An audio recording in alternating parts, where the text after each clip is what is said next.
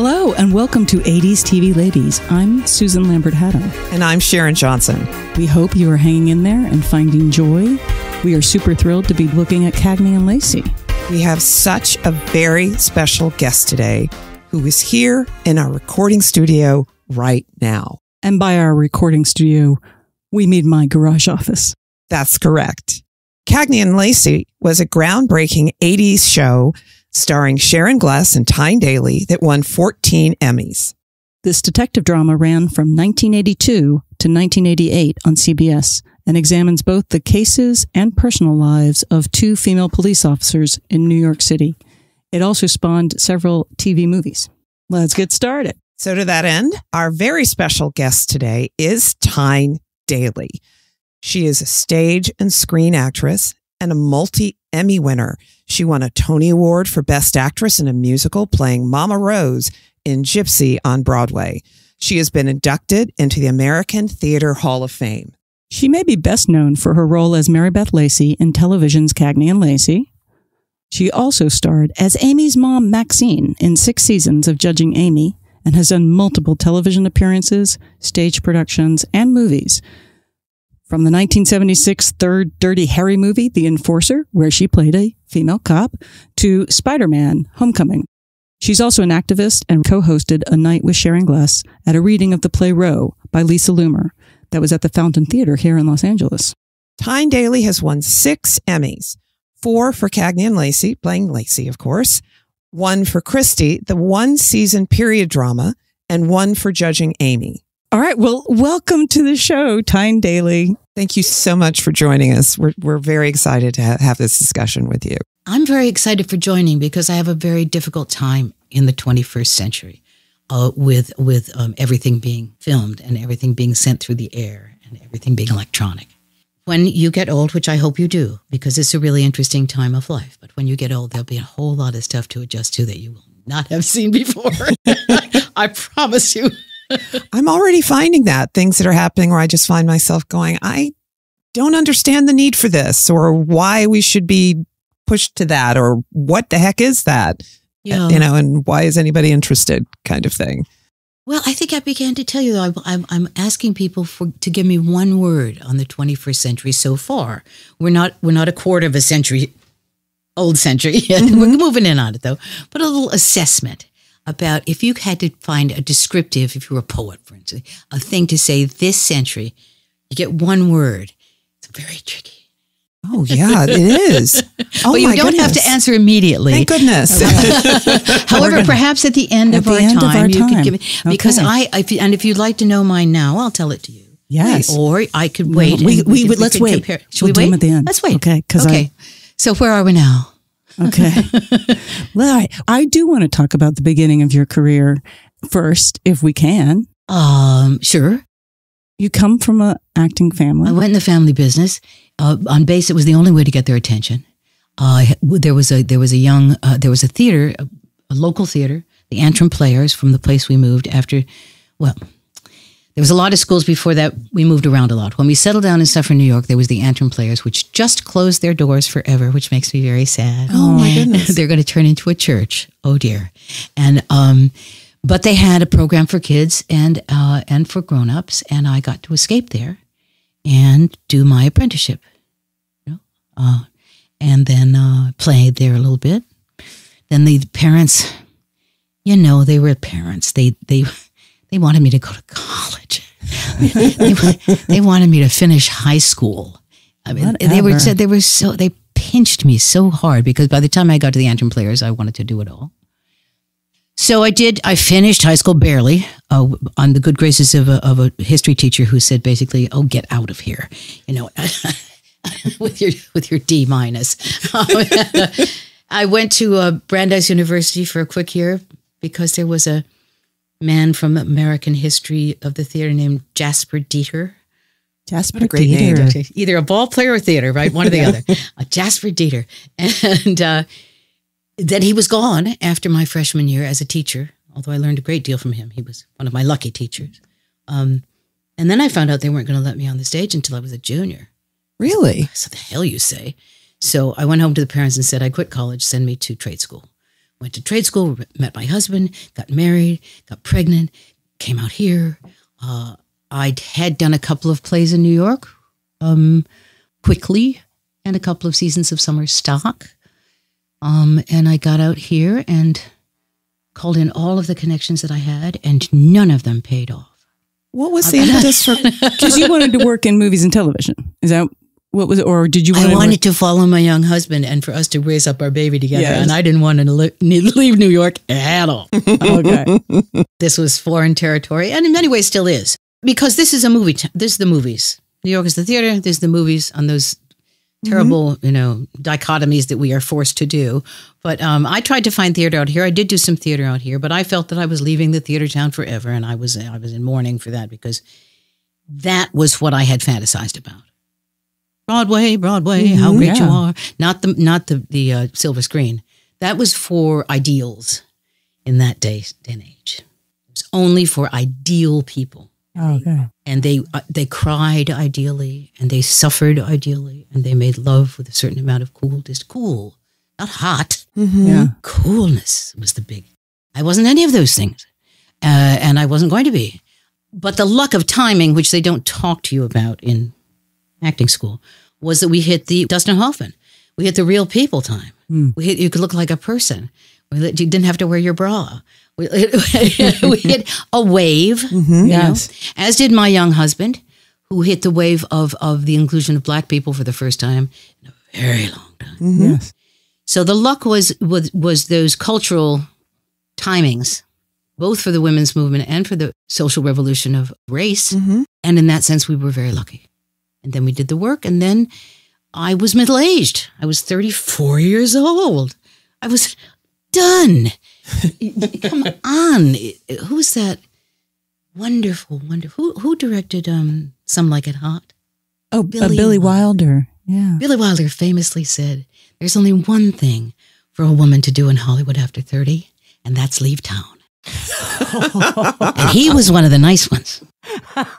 They were exploiting little girls from 12, like you know, the Gish sisters, mm-hmm. all the way up. But nobody wanted to take a look at anything that wasn't smooth and white mm-hmm. And feminine. Let me put some quotation marks around that. No threat to the patriarchal feminine ideal. And the ugly people were allowed, the, the mm-hmm. non perfect people were kind of in fashion. So I was just definitely not perfect. I, I feel like in the movies, I couldn't pass the physical. Movies like the Marines Yeah.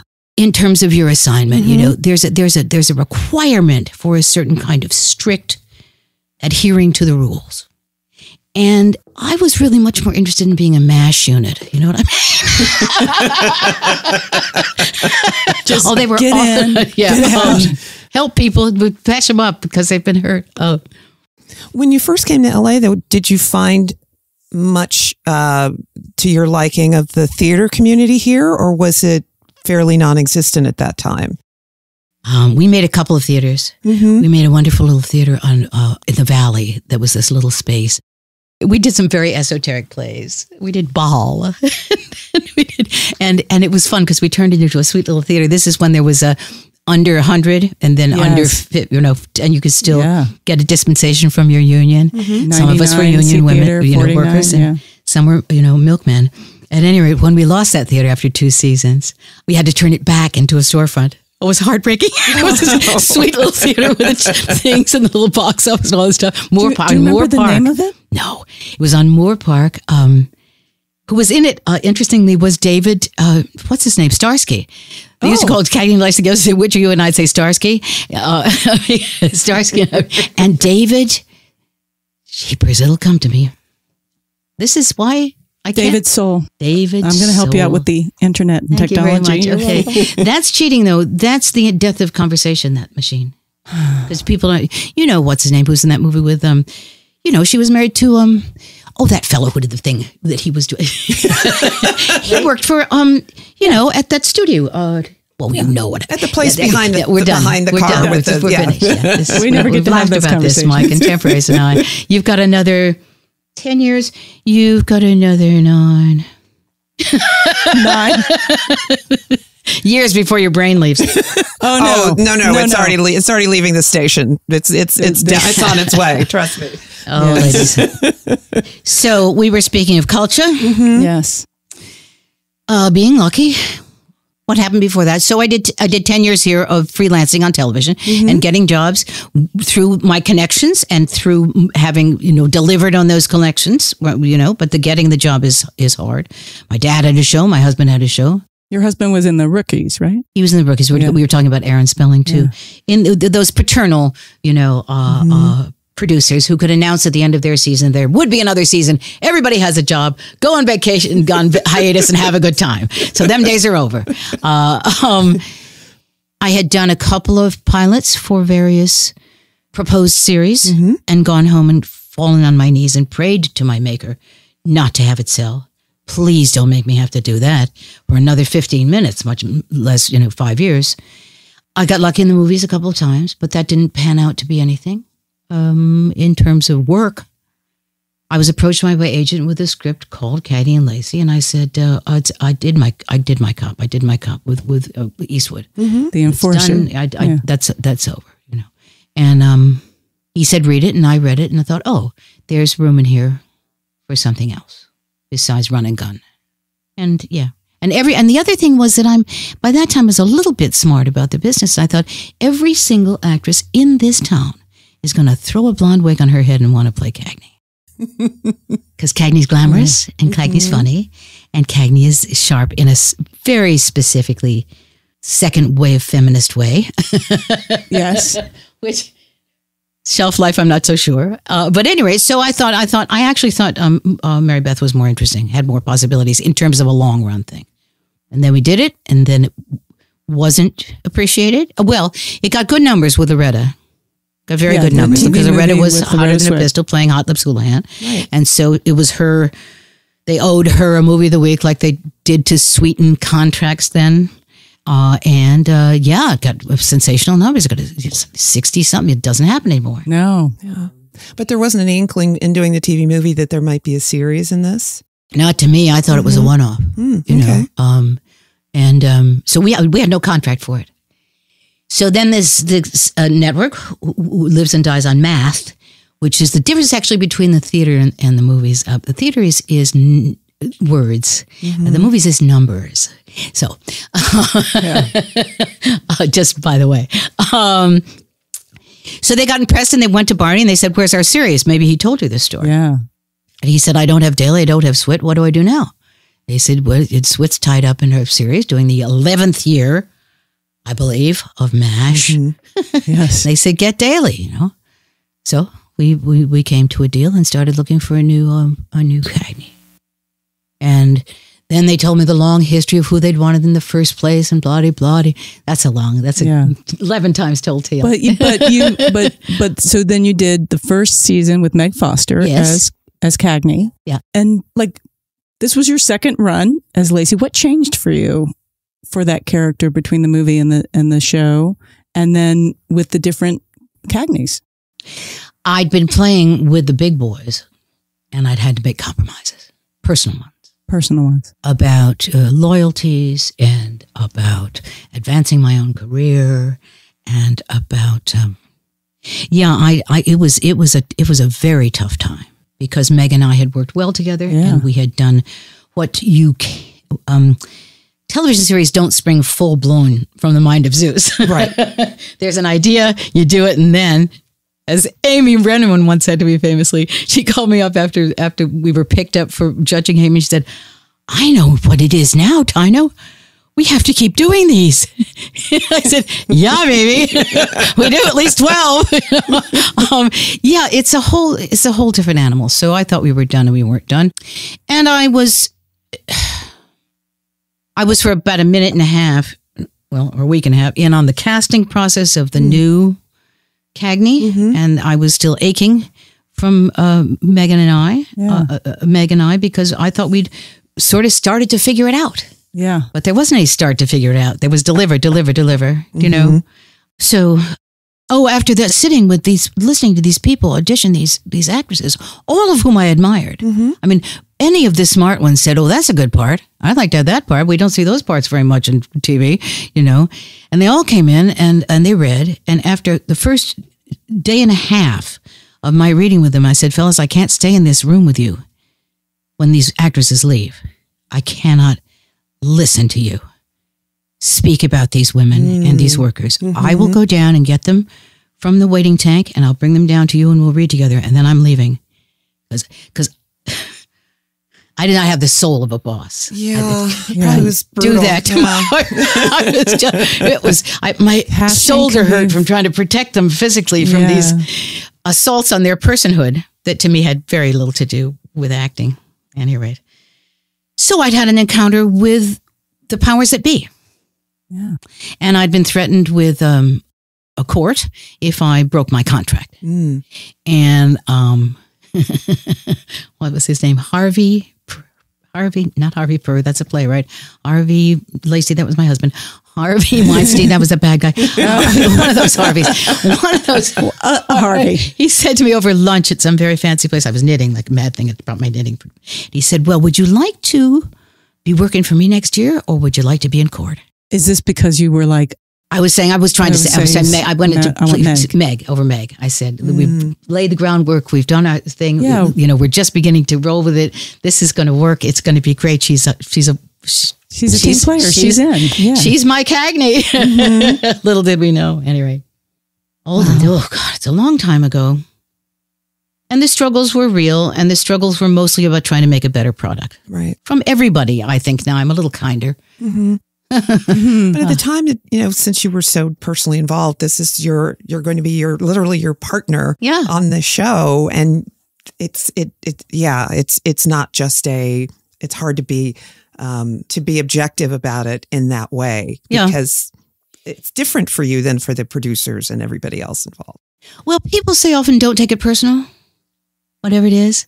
This is very personal work. Yeah, This is my instrument. Here it is sitting in front of you. Size, shape, age, whatever. This is what I have to work with. And my brain and my memories and my guts and all those things. And it is personal work. And it's about, and it doesn't work if someone doesn't pick up on how personal it is to you and feels that same way too. It becomes personal for mm-hmm. the person you're telling the story to. And that stuff is, that's, that's tricky stuff. You know, no wonder half of us go mad and turn into drunks. Uh, I mean, I'll, I'll admit, until we started doing this podcast and started looking at Cagney and Lacey, either I didn't know or I just didn't remember that Sharon Gless was Cagney number three Yeah. in the show. What was it? You didn't need to. Um, that's good. That's very good. She became she became the one. She said they were the one they wanted in the first place, and she was tied up in a series of her own. We had met a couple times. Um, I went to full courtship because I wanted the job for myself. Come on, I wanted it to work. I didn't want it to fall apart. Right. Do you know? Anyway, you know, and then we were fired, and then we were hired, and then there were prizes, and we were fired again. you know, it was it was a really nice, uh, chunky roller coaster. I was going to say, for such a successful series from the outside, it had a very tumultuous history. We Yeah. learned from Barney and from in, reading about the show and stuff. And so I imagine being in the middle of it, just trying to do your job mm-hmm. and being surrounded by whether we're going or not going, who we're going with, who is being handed to us. Well, and more, and the more difficult assignment was to be some kind of a example or a role model, or you know, what do we stand for? How do you account for the success of this show? When we go to actors and we put stick the microphone in their face, and we want them to know stuff that isn't often in their can, and sometimes they're deeply stupid about. And I want to say, go talk to the people you elected. Now, what are you talking to me for? Why do you want my opinion about this? You know, uh, do I have one? Sure. No, I don't think it's appropriate for you to be asking me about this. Ask me about what I do. Any rate, um, that was very annoying to me. I didn't, you know, and the the part where you're supposed to represent something. It's at this point that Miss Daly notices the Jimmy Stewart retrospective poster on the wall of my office.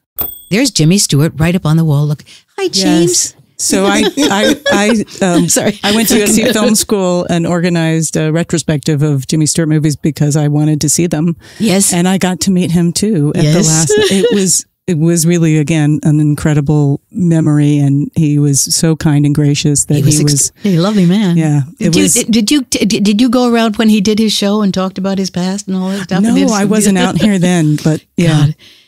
It's a strange deal for actors, actors, and all performing artists. Although we have film and although we have all of that recording devices, you only serve in your own time. Mhm. I, I could not have served in the 30s, and Bet, Betty uh, uh, Betty Bette Davis. Davis could not serve now, couldn't get a job. You know, I, I mean, you know, the styles change. I had a very smart friend who said to me once, styles change, but the truth does not. So you can see the truth tellers, you know, in the movies and the theater. and I think it's one of the re- Cagney and Lacey holds up, and It I think it's because Yeah. you guys are truthful in your moments. There's truthful moments. That's what we were working Cagney for, and yeah, and it know. comes through. And there's a whole lot of bullshit too. I mean, Yeah, there's, there's, but it- but- yeah. no, but the end of the season, we used to get to a point, me and Barney Rosenzweig, movie unit, and we'd say, okay, so this year we did 22 or 24, whatever, and and uh, which ones would you keep? Hmm. If you would keep eight, you were doing great. If you keep 11, that was a very good season. if you know, and if and it was gone down into around, you know, well, I, I'm not proud. Uh, uh, then we were, then we jumped the shark. Then it gotten silly. Then we were grasping at straws, and I wish we were more then like the English are. Uh, you know, to say this this story has a finite yes, uh, amount of time to tell.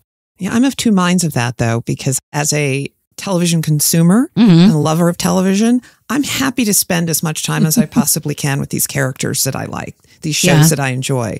But at the same time, it is nice when it, you know, the the, the expression about going away before you're missed or, or before Oh, yes, you, right, you know, right. let them miss you as opposed to want you to go away. Them wanting basically. more, Yes, exactly. I understand that as well. I, I, so I'm I'm always of two minds when it comes to that. Because yes, I, I would love to spend as much time with characters that I enjoy and shows that I enjoy as Mm-hmm. I possibly can. But when you're doing 22, 24 episodes a season, they're not all going to be you know keepers because of the runaway train that is television production. You know, so there's just not a lot of time for, for that. But it's it, but it's still lovely. Well, when my daddy started doing series television, they did 39 episodes a year. That was one. The the hiatus was 52 weeks, cut in quarters, 39 episodes, hours. and he, yeah, and he was on an he was Yeah. on an hour show, And Yeah. so then I saw it slip for him when he was going out to the coast, and it became 36, and then 34, and then 28. That was a big dip, you know. and now, but it's changed again. now yes. it's six.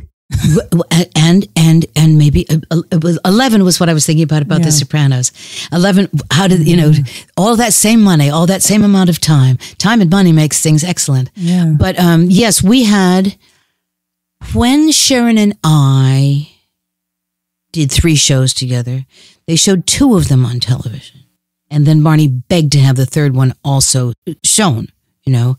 And my friends thought I was lucky because they were only making two, of which it's the business. I know far more about this business than I want to. I never wanted to know anything about show business. I wanted to pretend to be somebody else. And so, like, and I think that's not uncommon um, impulse. Um, uh, I wanted to disappear into somebody else and show off at the same time. See, that's Oh yeah, look at me! Don't look at me. it's one of the nice dichotomies. I used to say, you know, the impulse to show off and the willingness to disappear. But in terms of reality television, if I was remotely interested in reality, you think I would have been an actor? no, no. Let's pretend and have dress up. Let's have fantasy land. Old school. So that reminds me of the, an interview that, that I watched with you where you talked about one of the first things you do is find the voice of the character. And your voice is so amazing, right? But I love that thought that that's how you approach. Well, it's not so much as finding the voice; is it is hearing her, and and the, the hearing of her doesn't come just out of my brain alone or or auditory hallucinations, as we say. Um, it's um, it comes from the page. It comes from the from the written what's on the page, and I um, I'm as I say, I'm not a visual. I'm an aural learner. We used to don't talk about that. They just started talking about that with my little girls. What kind of a learner is she? Slow. uh, or um. So yeah, I often um music. the the, the auditory thing um, is a, a stimulus for me more than the visual. Whereas my young husband Georg, I used to catch him, you know, standing in doorways, staring into space, and I knew he was directing. I knew he was, you know, seeing it, trying to envision it. Yeah. Does that answer your question? Yeah, I, it- you know, I'm just I'm sort of fascinated by different actors' different approaches to creating these characters, and and Mary Beth is such a subtle character in a lot of ways, much Yeah. more than Cagney. Cagney is sort of through the door first, I guess. Yes, right. Well, maybe in cliche, she, uh, Cagney's a little more uh, available, you know, because she's more showy. Lacey, I just liked her. And I also thought she was doing a struggle that I was involved in myself, but on the, on a being an actress level, not on being a housewife and with a second job at, you know, the local hotel cleaning brooms. Yes. I mean, uh, um, she was trying to do that particular juggling act. There, I'm not getting Yes. to it. Uh, you know, of the of the '80s woman, uh, you can have it all, and uh, that wasn't true. You certainly can't have it all at once. You can have it all very quickly, one after another, if you are uh, have an endless supply of energy and good temper. Um, yeah, she was throwing herself up against a bunch of walls Yeah. with her husband and her kids and her work that I thought was worth telling stories about. And then, what do you know? A whole lot of people wanted to hear stories about themselves on TV. What a surprise! I know. and and um, they and wanted to see themselves reflected. they wanted to see women being real in their lives. and everybody And else everybody too. It was. I mean, it was Yeah. it's it's it's again, it's a crack in the. I'll read the statistics of our union. Still, this the, how many stories are told about the white male in the society, and it's and we we reflect. Some people think television's leads. I'm not so sure. I think we reflect. I think a lot of what we were talking about on Cagney and Lacey had been talked about in the world, you know. But here we are again with people, you know, um, assaulting clinics that take care of women's health, with people marching in the streets saying, We matter, can you see us? With people confused about the, well, police to have played a policeman? Both my husband and I played policemen in those days. And if you think we didn't go home and discuss and decide to accept that in them days, then you underestimate both of us because uh, it was not easy to say, I'm lining up with the pigs. Not only been marching with, with for Vietnam and meaning it, you know, compromises. Yeah, the end of the Vietnam War was really not that far away from when No, no. CAG and all the things that went Yeah. on, you know, No. uh, around it um, was not that far away. So it's it's totally understandable. The entertainment industry for peace and justice. the worst. Uh, what are those things that NATO's the one that those things into a word? The E EIPJ. Jane Fonda and uh, Don Sutherland Yeah. and us with carriages in the street, you know, street theater, all that stuff. And we, but I just did street theater again. oh, really? Sort of. Sharon and I introduced a play by uh, Lisa Loomer called uh, Roe v. Roe. Wade. That's you know here, we- Yes. you know, to a bunch of people, to hundred people in a thing, saying, "Don't give up the ship." Um, it's it's disheartening, and yet I know there's progress, hmm uh, but only progress if you if you if you um, insist on it.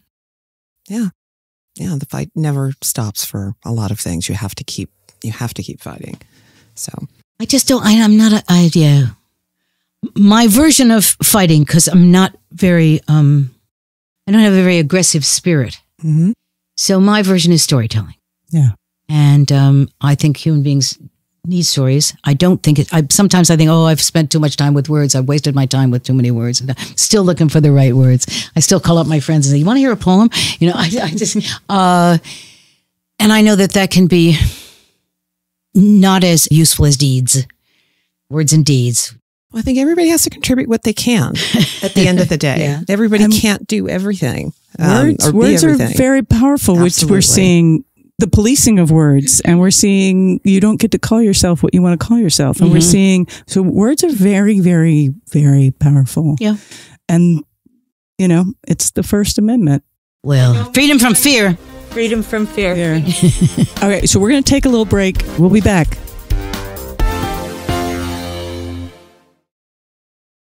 All right, welcome back. Oh my gosh. So, did we get up to uh, Cagney and Lacey? What do you want to talk about? Oh, we want to talk about Cagney and Let's talk a Lacey. more about Cagney and Lacey. and you know what your favorite moments were like what you still hold dear Hmm. I don't. When at the end of the show, um, uh, they gave us an opportunity to have all of the um, episodes, the entire series, and it was a choice between Betamax and VHS. Yes, VHS. yes, yes. I didn't understand it, but I did do a little research. I found out Betamax was smaller and better resolution, both visually and audially. So I said, I'll have Betamax.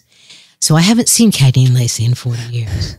Um, and uh, not really interested in it. Um, looking at oneself is a mixed bag. And and and Sharon will tell you maybe, or uh, you know, she used to sit down with with um, Monique James, who was her mentor at Universal, and they'd watch dailies, and Monique would say to her, "And that's that's good. I like that when you do that. Don't don't don't ever do that. Watch out when you do that thing with your don't don't do that." And and talked her through how to look, and it was just um, foreign to my nature. yeah Um, I thought for a while I'd look at the shows, and Barney said it was an interesting opportunity to see if you know if you'd made a table that had four good legs or one leg was short. You could assess the the work, but the opportunity to really see yourself when you're making it was very rare. There wasn't any TiVo or look at it afterwards.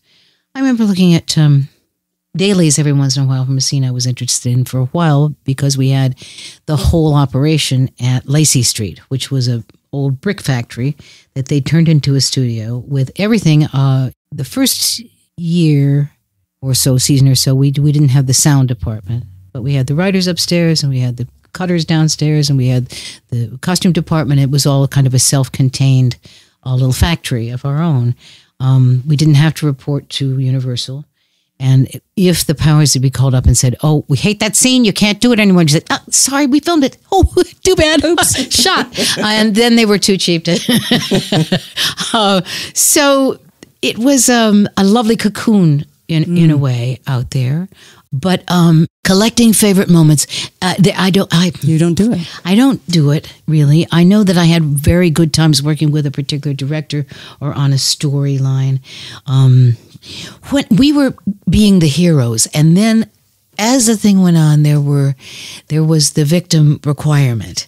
People had to be date raped, and people had to have breast cancer, and people had to have you know the things that were the the victimhood of the female cop was not required from some of our colleagues with penises if I could say that. But um, and that was that was another interesting thing to negotiate. I remember, uh, yeah, you know, trapped in the in the uh, thing we did called heat when you the bad guy trapped you in the in the in the hot uh, being a victim. I um yeah. There were good acting opportunities. I liked the the quieter ones. Um, but it's it's painful to me to try and name you episodes. I've t- I'm t- I mean, Yeah. we picked out did they work or did they don't work? A very Yeah. smart man named Arthur Laurents, whom I encountered later as a director, an old fox of the theater, and he said to me, "There's no right and wrong in the theater. Does it work or not? Does it work or it doesn't work?" You know. So I think we worked it mostly. I don't feel that there were times when we really betrayed the side or something. There were a couple of stupid episodes, you know, but they were mostly just relief from, you know, now I've done 20 of these, let's do something silly. uh, we did a lot of laughing together as workers. We had a good, good, tight crew, you know, who who knew each other for for. I mean, we lost people, but but that they held together mostly. Um, you had some really um you had a, a for the time a number of female directors and writers We did. We tried consciously to hire female directors and ads and stuff, and to and to help on that you know front in terms of technology. Which did, um, I don't know if you remember Karen Arthur. Of course, I We're going to be talking Karen to her. Are you? Yes. Um, She's in New York now, as far as I know. Last time I saw her was in New York. yeah. Well, I, think, I think she'll be zooming in, so I don't know exactly Oh, who good, she is. But yeah. Yeah, yeah. She was one of our regulars. So you mentioned you were talking about how you really never really watched the show, if I'm remembering correctly. Yeah. So is that consistent ac- across the work that you've done on film and television that you haven't gone back and after you finished it, gone back and watched it? Pretty much so. I mean, in the in the we had a couple of movies, the handful of movies that I've done. Uh, uh, uh, some directors have dailies in the olden days, um, which was kind of another communal activity. You know, come and have drinks after the thing and and, and watch the day's work. Um, God, it's such weird work because because there's no because I prefer the theater where you don't have to look at yourself. When they look at you, and in fact, they're not even allowed to take your picture unless they're doing it in, on the sneak. Do you know it has to live in the memory of you and the person you were telling the story to?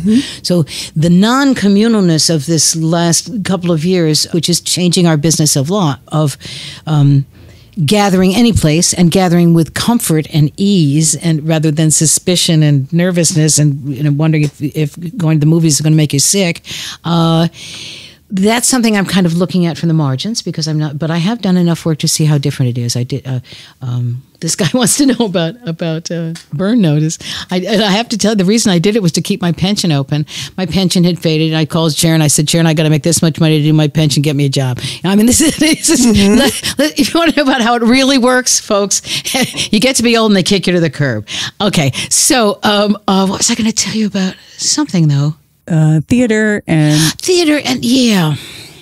The recording of an experience so that you can look at it again and again is very different than having it have to last in your memory. Right. and you could retrieve what you can. And uh, i understand that you know there are kids who are recording their teachers in college class instead of taking notes. Taking notes is one kind of recording but recording the whole thing and, and then go what and fall asleep over it again uh, I, I, think it's an excuse for paying attention in many ways. And that makes me sound like an alta caca, which I am. So, uh, I'm, I'm probably pretty far down that road too. I mean, as as you know, as as cell phones have proliferated, I when I first was able to take pictures all the time and as many as I wanted, I, I did that. I'm gotten to the point now where I almost never take pictures when I go places because I want to see an experience and I want to look at what I want to look at and pay attention to what I want to look Right. at because I there is something about being in that moment, and that's one of the beauties of theater over over film. As much as I love film and television and filmed entertainment, and it's lovely to see things again. It is. Mm-hmm. It is absolutely. wonderful to see great performances and all that stuff. I don't mean to be to be religious about it. But there, I mean, I think there have been a number of actors who've talked about how they don't watch themselves. They don't. So you're definitely not alone. Yeah. Um, and I- so I was just, I was just curious if that was a, you know, something Yeah. consistently over your your your career that you've mostly done when it came to the f- the finished product. You know, as opposed to dailies, which to me is a little different because you're seeing the work of the day and helping. You know, that may be useful in terms of going forward. I don't know, but I have. I think I have only like eight percent Sunset Boulevard in me. just enough. That's just you know, enough. uh, yeah. Not not not not my favorite form of fun. Mhm. Let's say that. no, understandable. Sure. So let's move on to theater because I want to talk about Gypsy and I want to talk about what theater has meant to you over the years and because you've done a ton of theater. I've done some, but I also had there was this distraction of of, of my husband's career was out here. My career turned out to be about television and and a little bit of a way, you know, the movies where I couldn't pass the physical, and uh, uh, uh, to be a marine, which I, I remember the, reading something about uh, Demi Moore. Uh, saying that she was a hands-on mom, and she also spent eight hours a day in the gym. I thought, baby, how do you do that? Which eight? All in a row? How many hands? I don't know. I just didn't. I, I, it was. It was made. It amused me. Um, anyway, I couldn't figure out that kind of juggling w- without a lifestyle that I didn't wasn't designed for. Do you know? Very bad at delegating responsibilities and asking other people to do my shopping. Um, so the theater and the movies, I've been very lucky. I've gotten to do some of each, do you know? And and uh, uh, but my yearnings for my dream time, as I say, was the theater, not the movies. Not to be on the silver screen, but to be but to be in uh, you know on the Broadway stage and the music part was fun and getting up for it was fun and and uh, uh, retraining again uh, uh, you know to make the cabarets was fun and um, so i didn't i wasn't required to choose to say to do this or this i was uh, happier being a jack of all trades And I think that was um, that has changed. It used to be you were doing television, you did television. If you did movies, you Oh did yeah. movies. Oh yeah. did there was a lot theater. more snootsiness about it until um, Laurence Olivier sold p- p- cameras. Oh, okay. Until old Larry got that ad for Polaroid. yeah, there were inroads were made on what was the fancy stuff, um, and you know um, where you earn the, the monies and where they want you. Um, so and the theater takes a different a different kind of energy. I don't I don't know that I could do the first act of Gypsy without falling over. You know, these days it's just you age out of, of that part of it. Um, and the memory fades, and the you know, and the and the and the, the, the, the attrition of old age. But but hopefully, I always wanted. I was interested in in telling stories about women from the beginning to the end. I didn't like cutting out and leaving only the fifteen years between fifteen and thirty. Yeah. That those were the only ones we looked at. 15 and 30. Yeah. No coming, very few coming of age things for girls. Yeah. Uh, very few getting through the middle passage for girls. Yes. Very few after I can't make you babies for the girls, and very few um, uh, old wise hags. To add a little bit of the female spirit to the overbalance of of uh, uh, male stories about um, how they figured out the world and how they run the world and what is necessary to run the world. I had a thought the other day um, about the Bible and the and the and the Constitution and all of the things that are rolling around since mm-hmm. in our society right now and the words, the great words. And I thought to myself, I wanted to say to the founding fathers, who told you that story? And they'd say, Oh, my dad.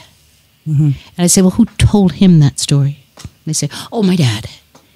Your dad told you that story. We've all been listening to the dad stories for a long, long time on the verge, version of what's creative, what's nurturing, how do we get to be better people, you know. And um, so I thought there was room for the mom stories, particularly the mom, not the girlfriend, Yeah. and not the rival for the for the job. Well, it was such a big part of of, of Lacey, and Mm-hmm. and there I, there's a um again rewatching these. There was a line that struck me from one of the episodes where where she and she constantly questioned whether she was being a good mom, but there was like a I thought I was stronger than this. I thought I was a good mother. As a mother and a stepmother and a working person and a thing, Mm-hmm. like I was like, yes, we're constantly asking that question of ourselves. Yeah serving all these masters and and and wondering if you're failing them all. It was a condition and still is a condition of of, of a lot of people. And i know that it's not that men don't question themselves or that they don't blah blah blah but the, but the running of everything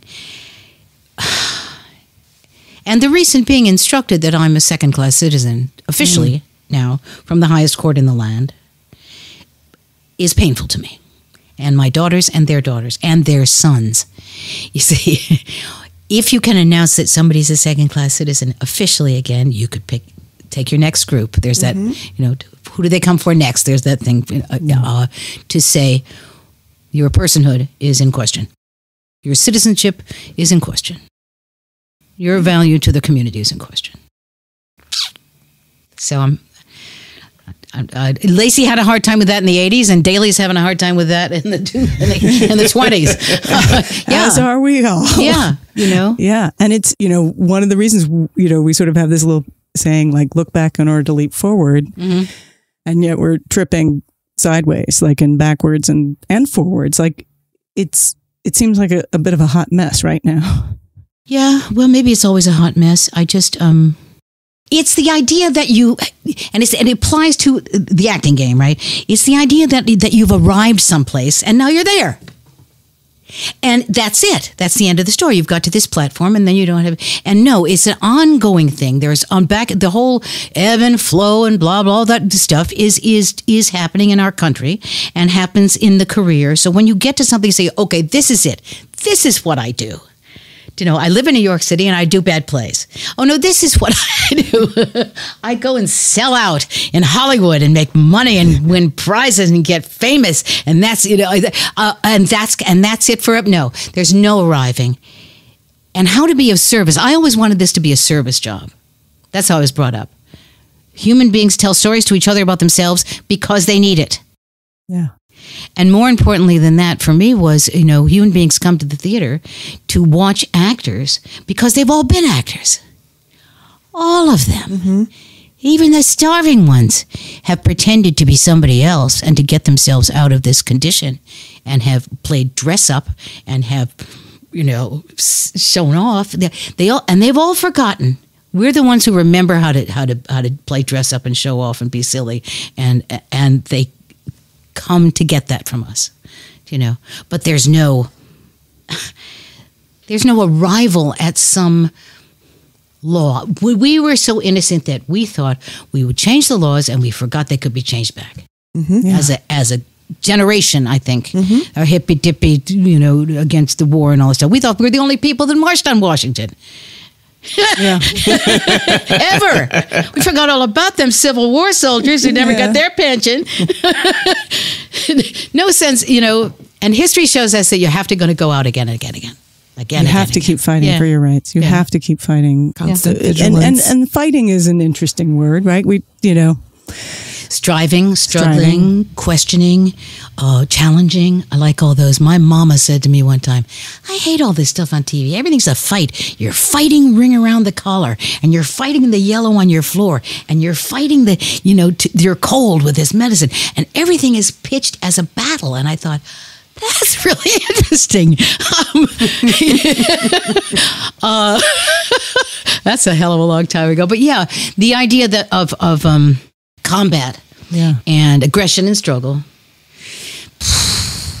I think we sort of run out of that being useful. Yeah. I think that anybody that thinks that war is a solution to anything is wrong. Yeah. Period. Period. Got to figure something else out. we got to do it now. We got to look for different ways. And I think that's that's one of the reasons I wanted to do this podcast is I wanted to celebrate women Mhm. in all ways and and also examine what our choice of language is. Like we we sort of question each show that we look at and we mm-hmm. go like, okay, is this a feminist show? What is a feminist show? Mm-hmm. Did they know they were making a feminist show? You know, what does it mean to do that? Well, mostly I've played women or girls in my career. Mm-hmm. I did play an eight-year-old black boy in uh, Moby Dick rehearsed in the op- in, in Denver, but that was unique. And I, mostly I've been asked to play to play women. So if I'm doing it, it's a feminist show. I mean, it's it's about if it's about women, it might be about the woman standing in the background. I mean, but that will give you the you know the the story on the woman of that story. Um, the the, everything having to sit in its own category. This is for girls. This is for boys. This is for black people. This is for Asian folks. This is for the the, the bitsing up and categorizing everything. I here okay. Here we go. I'll tell you my last idea. Okay. Independence Day, Fourth of July, bombs bursting in air. Um, and I thought I want a new vacation. I want a new holiday. I want a holiday called Interdependence Day. On Interdependence Day, we celebrate everything that's alike about each other, everything everything we have in common. Um, no show of military might, no uniforms, no banners, no anthems, um, no borders, and and any nothing that smacks of anything that's like a badge or or a symbol. Uh, just um, Interdependence Day. I'd like to see us move towards that instead of towards the the disaster of the 21st century, which is tribalism. Factions. My opinion. Yeah. Period. That's it. I got to read your Okay. poem now. Can I read you a Oh, poem? yes, yes, let's read poem. Let me read your poem. poem. Tyne Daly is going to read us a poem. because I like to say Vistava Szymborska. Um, this is a terrific poem. If I can make it when- called oh, because this is what I'm doing now. What I'm doing now is is is working with words, and I have been for a while uh, to try and.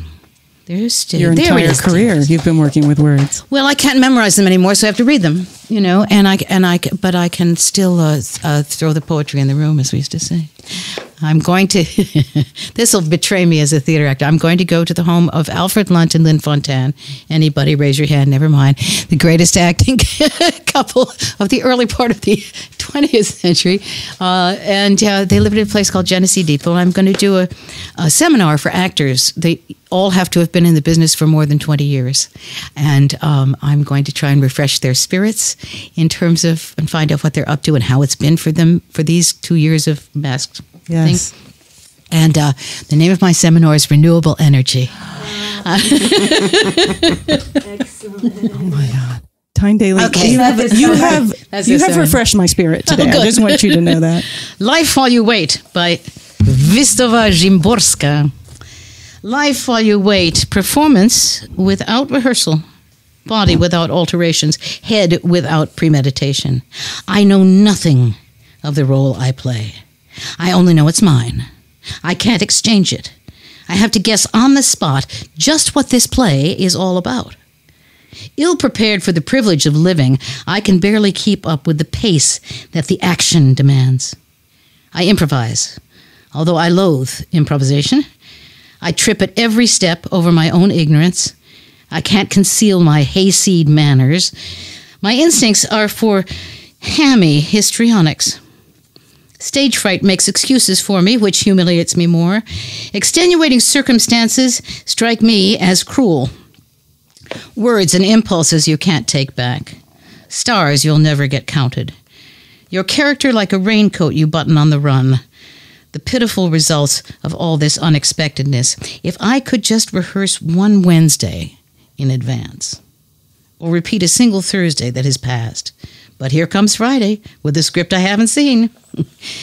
Is it fair? I ask, my voice a little hoarse, since I couldn't even clear my throat off stage.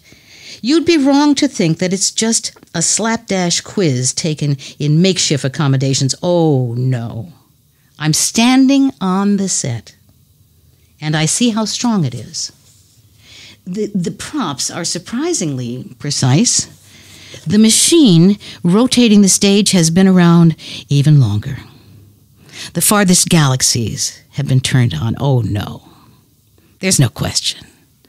This must be the premiere. And whatever I do will become forever what I've done. That's awesome. That's awesome. Cheers. Thank you so oh much. Thank you so much. That was absolutely beautiful. I- Szymborska. Oh, all right. Will you say the name again? Her name is Vistova. Okay. W I S T A W A. Vistova. Szymborska. S Z Y M B O R S K A. Please tell me you've done audiobooks. I have not. I failed completely. Oh, this is a funny oh. story. They approached me once to do an audiobook uh, for new mothers, and it was a little book of contemplations, you know, so that you could read about. Yeah, I said, if this new mother has ten minutes a day for herself, she's doing better. She don't need this book. God bless her. Well, that's been my experience. Them ten minutes don't go until the kid is thirty-five. let's be let's be serious. Okay. Oh my goodness. Oh wow. No, and I tried. I tried. I listened. I got so. We were doing a long distance trip, and I got w- books for the girls to listen to. We were driving my daughter back from school in Wisconsin, and I got uh, Ruby Dee doing their eyes are watching God, and I love Ruby Dee. And her and we had. I worked for her and, and for Ossie and stuff, and I, I got it. The thing made me fall asleep. Uh, driving, and it was like it was like a supper. I can't. Yeah. So I say I listen, but I can't. I very few books on tape move me. I find it hard to listen to nonfiction audiobooks. Yeah. Fiction audiobooks are I find easier to listen to. Maybe Well, because it yeah. engages my imagination in a different way Yeah. as opposed to trying to take Their eyes are watching God. Oh, Come on. That's Wow. it's still. hard to be for. Yeah.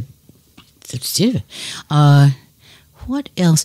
Jim Dale. Do you have Jim Dale in your mind? Yes. He did all of the voices for the Harry Potter. Harry Yes, Potter. yes. Something like 309 voices. I thought, shh. Those- What kind of a thing is that?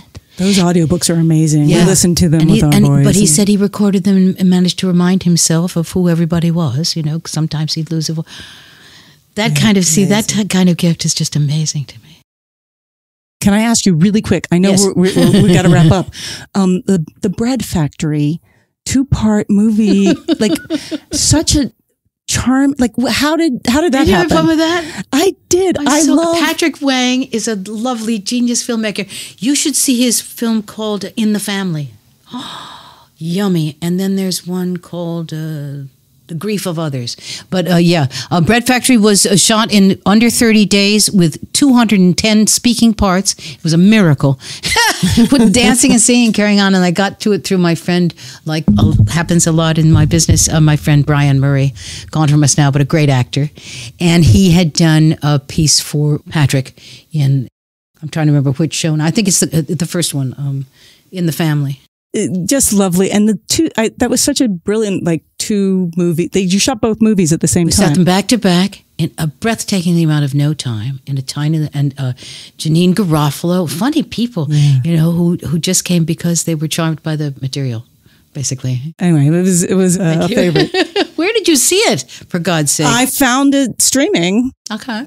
because that's the great thing about streaming. You Well, can let find us know things somewhere. where. Will us, let I, us know I will. where. I will. will- When we do our audiography, I will. I will. uh because I have to look it up again. I think I have to see it. A bread factory, part one and two. Yeah, it's about a you know a, a local arts center that these two ladies run together and have forever, and, and where kids can draw and paint and sculpt and act and sing and carry on. And it's uh, it's being threatened by a, a consortium of modern entertainers who are pretty electronic. At any rate, Okay, so it's three questions. You can't name your own shows, but is there an 80s TV ladies driven TV show that resonated with you? And I can remind you of some to get you going, like Golden Girls and Murphy Brown, China Beach, you know, Designing Women. Designing Women, uh, Remington, Remington Steele. or were you too busy being a mom and making TV? I have never been a regular television watcher. I used to watch my dad, which was kind of interesting because you know he'd be on these, and then there he'd be, and he'd be being, you know, Robert E. Lee, or he'd be being uh, um, Walt Whitman, or he'd be being in those days when they uh, he he was always somebody he played. Uh, uh, give us Barabbas. He played Barabbas in the in uh, you know uh, he played a lot of different stuff on a lot of different interesting long fight, and it was very strange to see your dad. I remember my brother Tim, the first time he saw when again he was um t- ten years younger than I, but the first time he saw my dad on TV and my dad was being threatened by a bad guy, he freaked out. sure. He he couldn't. Truth and illusion. He couldn't make the thing. Even Daddy was sitting next to him, and he couldn't make.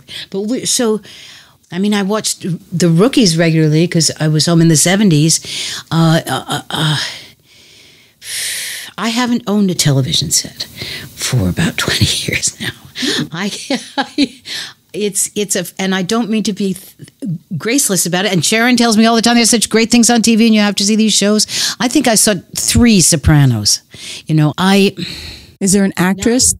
I like those actresses on Designing Women. I thought they were terrific, and, and Sharon's in love with uh, uh, um, what's her face, who's doing the, her new show, um, Jane Smart, Jane who's Smart. a wonderful actress, and occasionally.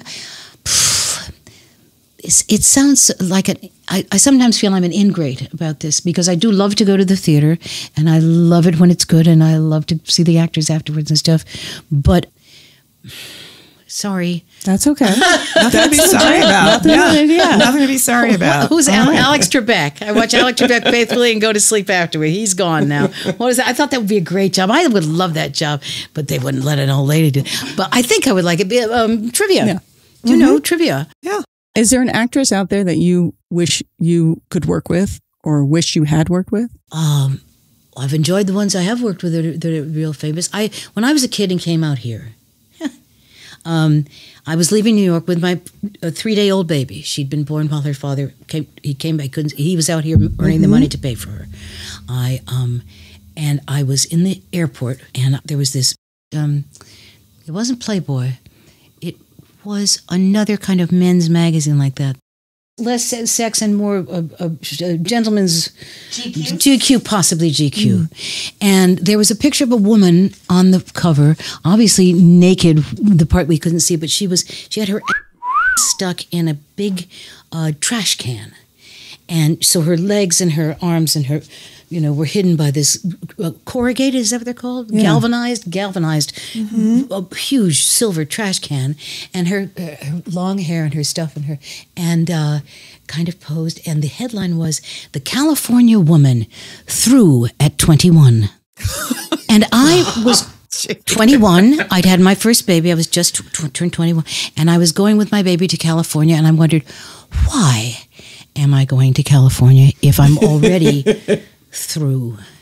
And um, then I would sit and I had my baby and we had our little thing and we were trying to have no money. We, Georg was working as a janitor to, and uh, there'd be these fan magazines and they'd say, and here was the new actress, and here was the next new actress, and here was this other new actress, and all. The, and I kept saying, "Mm, not me, not me, no, not me again. And and and I, but I didn't want to be them.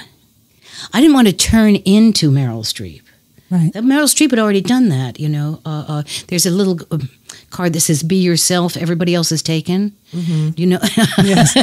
and and I did. I just wanted to be there with you know in the mix, but I didn't want. I wasn't envious to be somebody else or to admire somebody else. Not that I haven't had fun in the theater and had people move me and and tell me stories, but I just um I really don't have anybody that I wanted to be like Yeah. or or wanted to have their career instead. You know, uh, I mean, everybody wanted Angela Lansbury's career, but you know, but I I think a lot of people want your career. well, they can't have it. You're very good at I'm almost dead, and second of all, it's ta- it taken. You know, there's no repeats. You can't put your f- foot in the same river twice. All that stuff is true. Yeah. So. uh, I loved seeing there being more stories for women. I'll tell you that. I love those. I love seeing those those girl cops on LAPD thing and stuff. I mean, there were the, the cracks were being made. I was aware of that, but I didn't have time to sit down and watch it because I was busy doing it. You know. Mm-hmm. Yeah. No, that's great. That's great. Last question. What's a moment that you've had that you felt like, is this scripted? Am I living in a television moment right now? You you were on set all the time in television moments, but like one moment where you're like, that was so memorable or so like out of That I felt like I was in a movie. You mean? Or yeah That I, f- yeah like a movie or a, a, a television moment of drama. Well, I tell you what, my brain thinks of because I don't. I'm not quite sure I understand. The, I remember uh, um, uh, Georg was doing the rookies, and was directing, and got me a job. I got the I had the in because I was married to the co-star, and uh, we were doing a show. We'd been in school together from the time we, I was 17 or 18, and was, we were just babies. And we were doing a scene which he was also in. He was directing, but he was in it. And he came up and stood up next to me, and I said, "Hey, baby, it's you and me in the movies." And we had the best laugh. you know that I can tell you. Um, there are moments when it's amazing that you're that you're on the stage, or you know. Uh, on the stage, you can't let that awareness in too quickly, or you'll not know what you say next. Uh, any rate, this work, it's good work. It's um, you know, lined up with other uh, things to do for a living. It's not. It's not a terrible thing to do. Thank you so much again. We cannot thank you enough for This this. has been it's it's something we've been looking forward to, and it's Ladies. exceeded, I think, our expectations. Yes. So thank you so much. okay. Cheers. So Tyne Daly challenged us to come up with one word to describe our time now here in America or on Earth. This first part of the 21st century. This yes. first part, oh, in this time period, the first part of the 21st century. And then we forgot to come back to that to circle back before she left. So I'm gonna I'm gonna get in touch with her and find out what it was, her word. Um, we think we think Kevin thinks it's uh, tribalism Mhm. Which might be right. And um, and now we have to come up with our own. The first word that popped in my head was change, I'm just, I think I found my word turmoil. turmoil. Because from the beginning, first we had 9 11, Mm. 2001. We're still dealing with the ramifications of, of that insanity. Um, we had the historic election of Barack Obama, Mhm. Followed by the kind of um, what's the word I'm looking for? Obstruction from the right that I don't think any of us have experienced in our lifetimes. Maybe there have been periods in the history of our country where similar things have happened, but this is a whole taken to a, it was whole, a whole new level. Whole new level. And it's only gotten continued to get worse from there. The fact that we went from Barack Obama, in my mind, one of the best presidents, one of the best men that's ever Yes. been president of the United States to arguably the worst person that has ever been put into that job, the worst kind of person that ever could have or should have. This is not about ideology. This is about A this, person. this person. Um, and that that person because I refuse to say the yes. name We're not going to speak that name. um, that person continues to not only be an effective stirrer, but that there are still so many people who are who have been brainwashed into believing and to sustaining the lies and distortions that he created in his time in office. He he built a, a cult on hate and uh, vitriol and fear and um and division. Yeah. And continues to work to divide the country. Yeah. And sometimes I'm like, oh, of course, that's who was nominated by a faction of people who want to punish. Like, oh yeah, you're not going to have a woman president. We're going to give you the worst of men. That's exactly what happened. Oh my gosh. We will take the worst of men over any woman as a payback. Oh my God. Sharon, Sharon just broke her paperclip. That's how, that's how, that's how wild we're getting here. Okay. All right. Have you come up with your word? Well, I, I, I the first word was change, but it wasn't enough. And I, I, I think, uh, turmoil is indeed. And I, and you also reminded me that the 21st century started 20 years ago. So I'm also going to say opportunity. It's an opportunity for turmoil and crisis, and it's an opportunity for change. And we've seen both of those in the last 20 years and and we'll see and we know we're not we're not at the end of this. We're not at the end of COVID. We're not at the end of the chaos of the result of the last 6 years in politics, the last 20 years in politics.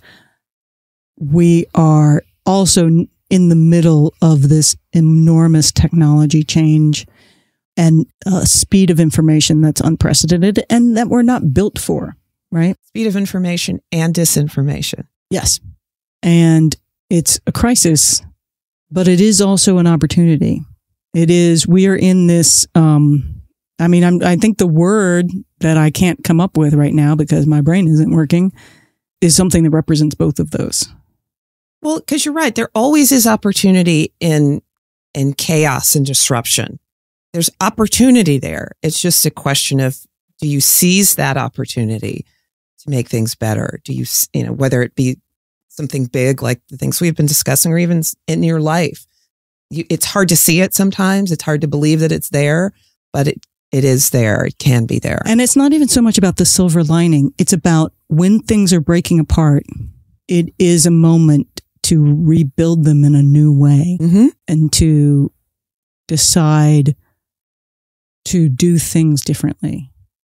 Um, so I think that question, which again is sort of resonating from all of the stuff we talked about today, which is how did we get here? Right? That's sort of, we're looking back to be like, how do we get here? And then how do we get out of here? I think is one of the other questions. And it's, it, you know, again, very serious conversation for in mostly a light podcast, but the undercurrent of everything right now is a struggle to define the new way we are going to be. And because there is opportunity in these crises, because we can recognize things and name them in ways we couldn't. We can recognize that our healthcare system in America is is not appropriate to the situation. It needs to be different. We can recognize that our involvement in government has to be more for the people, by the people, and of the people. We can recognize that these things that are breaking down are things that we can rebuild in a new way of looking at things. I don't think anybody is interested in doing the same thing. I'm seeing it in theater. You know, um, I'm seeing people take power from their own place that is often a disenfranchised place, but they're now saying, I don't care. We're now going to unionize. I don't care. We're now going to demand not only these rights back, but more rights. And even though there's a lot of work to divide us into these factions, there's a lot of people that are saying, no, more people in, in my history than I remember ever are activated, are engaged, are paying attention. And with that attention comes the opportunity. And I, again, I'm seeing really exciting people running for office and really like amazing people uh, stepping up and finding their voice in their community in a way that I think is not what I saw happen in the 80s when things were falling apart and in the 90s when people were sort of ignoring that things had fallen apart. anyway, but we got into a serious vein because I think I'm still searching for my word, but I if I don't I'm just going to say opportunity because it's also an opportunity for bad forces, right? So it's an opportunity for everybody and the question is is which opportunities are we going to take advantage of and which opportunities are we going to demand change for good? hmm We'll see. Now it's your turn, 80s TV ladies listeners. How would you answer Tyne Daly's request? What is your word? What one word describes our time now, here in the 21st century so far? Send us your thoughts and your word to 80stvladies at gmail.com or contact us through our website or on social media. I don't know, Sharon. Turmoil is a pretty good one. Sadly, yes, I think so.